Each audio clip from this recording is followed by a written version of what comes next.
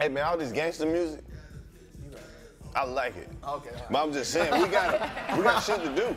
We got shit to do, man. We gotta get serious. You're right, you right, you right, you right. What the teacher say when she come back in the classroom? Hey, get back on task.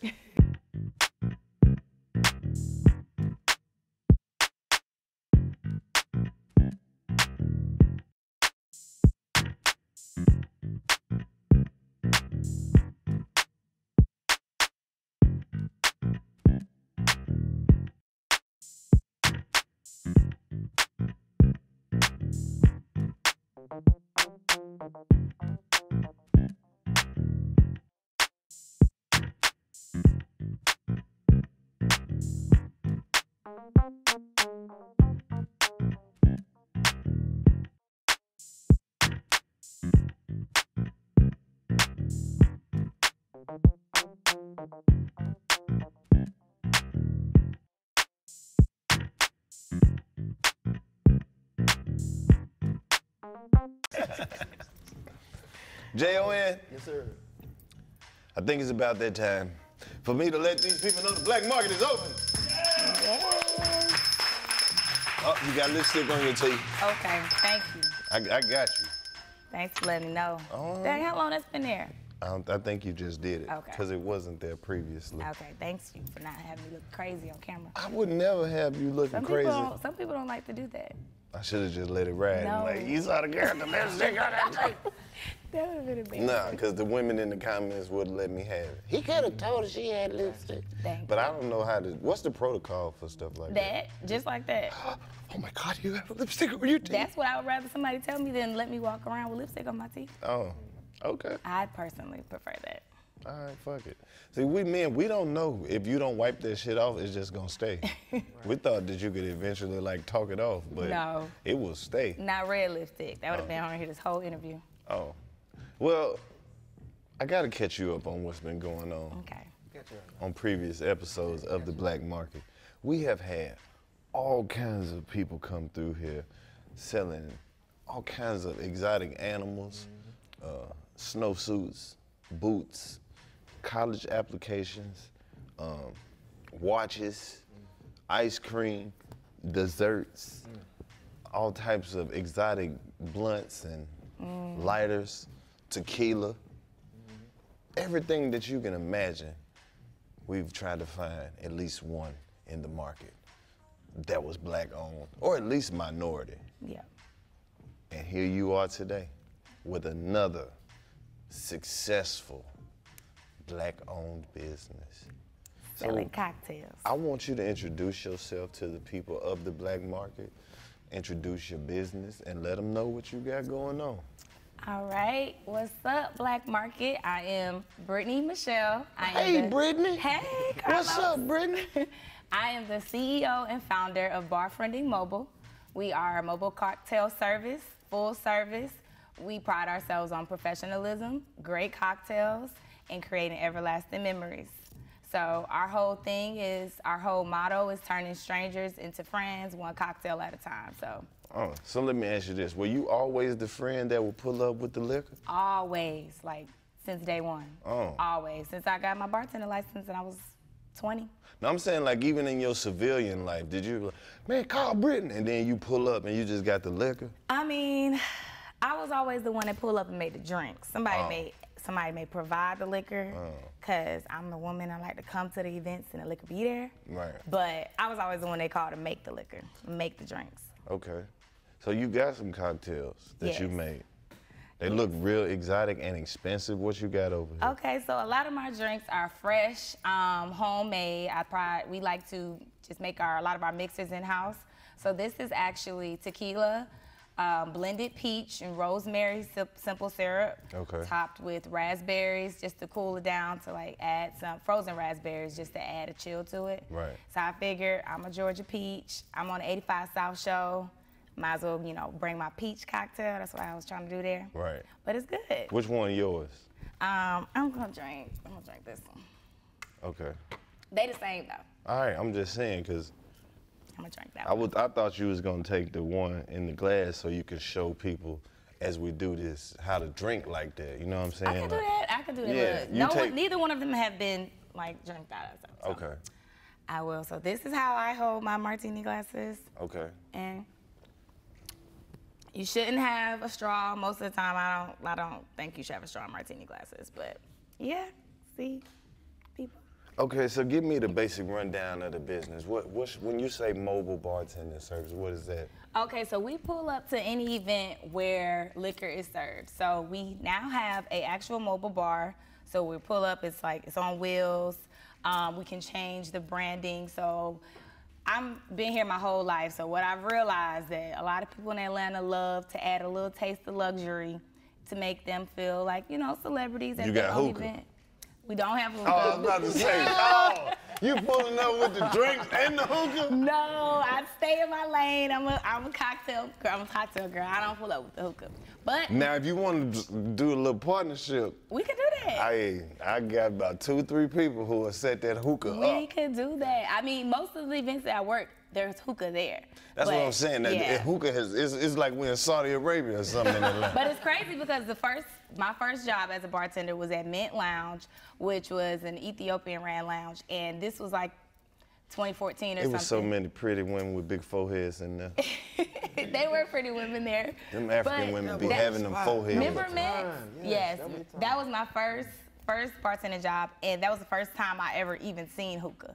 And this was before Atlanta got hip to hookah. You used to only could go to the African spots to get it. So I felt like it was a little more pure than like the hookah itself. Shout out to the Africans for bringing that hookah to Atlanta. Yeah, shout out to that. It's everywhere now. You ain't even gotta be African to have hookah, but yes. That's dope. So, what inspired you to do this, or you know, create this outlet? Um, I think it's because I was a bartender all of college. I, I attended Georgia State University, um, and I that's how I made my money in college. That's how I paid. I was on scholarship, but that's how I paid for my car. My house, my apartment was through bartending. I would work. I'm from the East Side. I'm from Stone Mountain, um, so I worked at all the East Side clubs, Prime Time, Obsession. Prime time. Yes, Mama's prime time.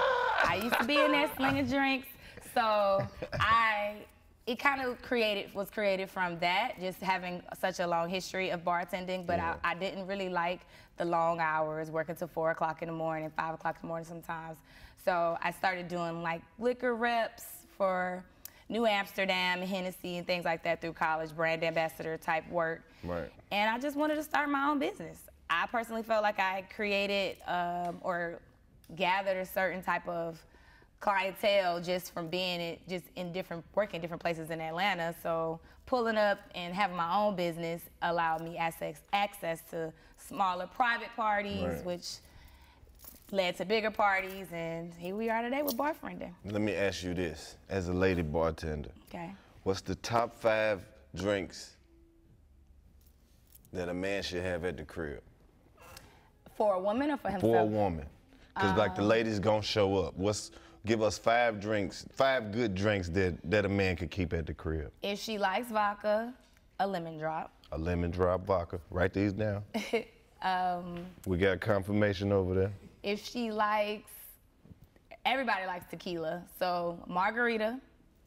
If you want to add some spice to it, get a flavor. Keep some pineapple there, some mango, strawberry margarita. That'll keep me at the house longer. Okay. She likes brown. I'd probably say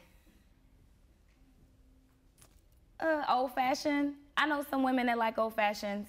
Just that if they like brown, You they mean like a Jack Daniels type? um, well, I would probably use like Bulleit um, for the old fashions, but some of them, some women I know who prefer brown, like it, like with the bitters. Because those women who grew up around their granddaddy drink that Jack Daniels and that Johnnie Walker and shit. Yeah, Johnnie Walker a little too. Yeah, them country women like liquor with a first and a last name. Well, that may be for the country women. Yeah. I, I don't know. I'd say Paloma, Evan Evan, Williams and shit. Evan Williams. That's Yeah. that brings me back to college. Maker's Mark. Yeah, Come see, it's, all they liquor got We two got- names. My son. Yeah. Paul Masson. That sound like your granddaddy best friend. Paul, Paul, Mr. Paul Masson out here. I'd probably say a nice rum punch. Um, you don't even have to be big into liquor to like a rum punch. A lot of the times the rum disguises is disguised in the mix of the ju- of the juices. So a rum punch and keep some champagne. A lot Yeah. of women like prosecco, like some type of sparkling drink. Yeah, a little orange juice in there. Mm, Have a little mimosa. We can add some gin. Turn up. She little she lit at 75. breakfast. Titty won't start slipping out.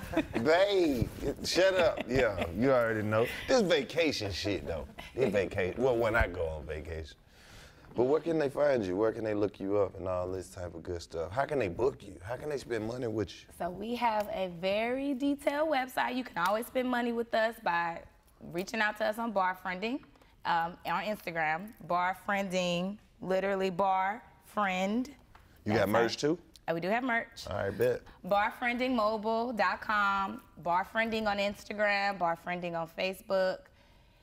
You can reach out. You, you can find us anywhere. We're really easy to find, and we always want your money. Robin, you But say you we're was gonna gonna be drink good, you this? know. Have come and have some and give the people. Look, I got my taste tester. You thought I wasn't gonna bring her in. She been No, eyeballing the drink the whole Yes. time. I know. Look, Javier want one too. Can you make one for Javier? Yes, Javier, I'll make one for you. Give a round of drinks to all my little drinkers it. on I got y'all. I got y'all. I got some more. What you say? It's good. You like it? You can't even taste the alcohol. Okay. Oh shit, you know what that mean. Your ass gonna be toe up when you drink that. As soon as you get about to that last sip. But honestly, so you you be sitting down, then you get up and be like, oh shit. You shouldn't taste alcohol in good drinks. That's what I always tell tell people who ask for more alcohol. Once you start asking for more, and once you start going over those ingredients, that's when you get too wavy. That's how you leave when we were talking about. A lot of people don't know when they too wavy. See. When you gotta discuss everything you about to do with yourself before you do it. Everybody who ever had a drink know that moment that I'm talking about. When you have to say, in your mind, before you can even verbalize, okay, get up. And, and just uh, just get up and stand up. Don't do nothing else. just make sure you get all the way up and just stand up, and we'll take it from there. Then you have to go one, two, three. Stand up, and then you have to keep giving yourself directions. See, if you are drinking a drink at a bar friending event, you won't feel like that. We, like I said, we have a lot of fresh ingredients, so we are hangover free.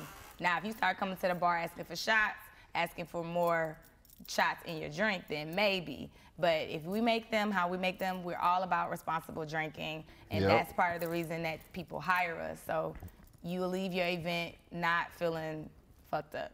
Uh-uh. I think people gonna want to do the opposite. I'm telling you. Well, I hope they don't. So you want to just get them good. No, they can feel great. You can still feel great, but I mean, a part of my job as a bartender is to know when you over your limit. Right. Because I don't want you leaving here getting a car accident and then they find out you bought your drink from me. Oh. So if you in there and you and you like, look, I got a designated driver. I'm straight. Fuck me up. I mean, put the money in the tip jar then. They need a section for people who ain't driving. I bet that'll turn the club back up. You know how the It- club done kind of fell off a little bit? Mm-hmm. Yeah. It's hard. You go to the club, ain't no cars outside, but the club packed. They people should start doing that. Then we would probably have less DUIs and less fatalities on the road. Right. Hell yeah. That's hard. We'll look into that. Yeah, we may need to start that up. In Atlanta too. Yeah. I mean, you know, they got little driving services, but we need some more urban shit where you don't have to do all that. We even got we got now we have liquor services that bring the liquor to you. Shout out to Quick Lick. Quick lick. They're back, the black That owned. sounds. Quick Lick. They'll pull up if you don't want to go to the bar, if you don't want to go out or go to the liquor store to pick, they'll bring it to you. They're like Uber for liquor.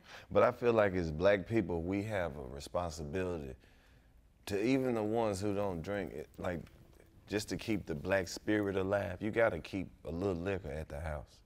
You'd have to. Just a little liquor at the house. Yeah, well, we got to keep that black tradition going. And if you follow a Bar Friending, we give them home, like teach you how to be an at-home bartender. So we give you cocktail recipes, let you know what you, what everybody should have in their home bar. So yeah. definitely. Now that's hard. I'm, I'm mm-hmm. gonna, I need to pay attention to that. yeah, sh- shout I got a bunch of free out. liquor at my house. You don't really get to pick. It's just this. All this shit was free. That's They gave me this. You put you something together. I don't and have you don't no even plan. drink liquor, I don't. so you just got it for your guests. Yeah, cause oh. I'm a good host. Well, that's good. Yeah, I got But all- are they making their drinks or you making it for them? I them? definitely am not making you Oh. no drink. You You, got got to pour your own trouble. Oh, okay. No, I don't have a bartender at the house, but now that I know we got mobile bartenders, Call me up. hell yeah. So, We'll pull up. I bet. Well, we appreciate you stopping through the yes. black market and much love and success to you and all your Thank future you. endeavors. Thank you. Thank y'all so much for having me. Yes.